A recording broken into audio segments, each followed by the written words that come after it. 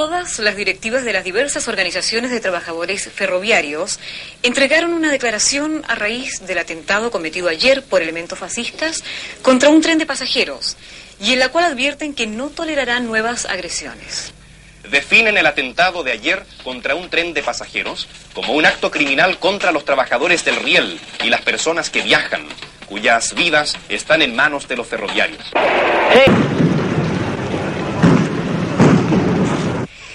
La eficiente actuación del cuerpo de carabineros y la multitudinaria movilización de millares de trabajadores que salieron a las calles a dar su apoyo al gobierno constitucional hicieron fracasar el intento de elementos fascistas de desatar en el día de hoy una azonada sangrienta en la ciudad de Santiago. Los grupos fascistas se dedicaron a una guerrilla contra los estudiantes y trabajadores que habían salido a expresar su respaldo al gobierno. Hubo destrozos en casas comerciales, el saqueo de la Corporación de Mejoramiento Urbano, que fue desvalijada por el Lumpen, y ataques arteros a bala. La presencia de los obreros en las calles céntricas significó el desbande de los grupos de provocadores que intentaban crear un clima de desorden en la ciudad. Los obreros de la construcción y los trabajadores de las industrias del área social desfilaban por Alameda para impedir los desmanes de los grupos fascistas.